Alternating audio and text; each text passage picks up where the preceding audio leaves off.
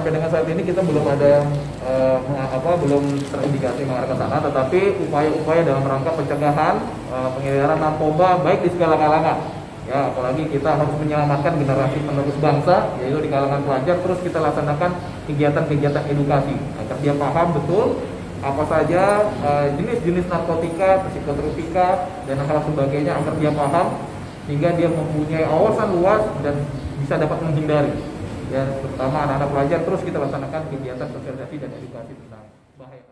Jangan lupa follow, like, dan subscribe sosial media Tribun Pantura.